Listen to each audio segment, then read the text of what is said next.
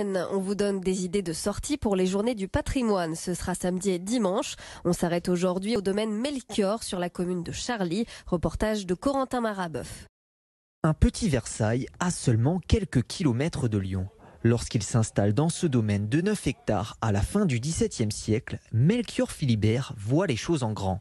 Dès l'arrivée de ses convives, ce riche marchand se présente à travers trois fresques. L'une des peintures présente sa vie euh, extérieure, sa vie économique, sa vie dans le monde des affaires.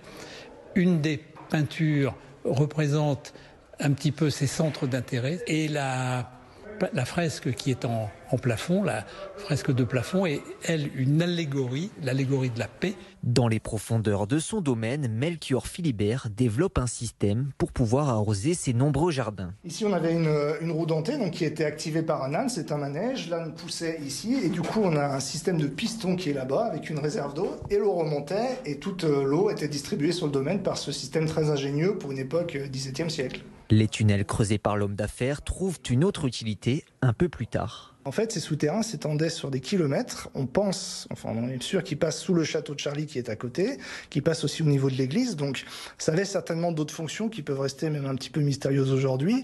Euh, pendant les guerres de religion, pendant les différents conflits, soit de cachette, soit pour aller d'un point A à un point B de manière très discrète. Un lieu chargé d'histoire, tourné vers l'avenir. Ici, on cultive la nourriture de demain en replantant graines et semences.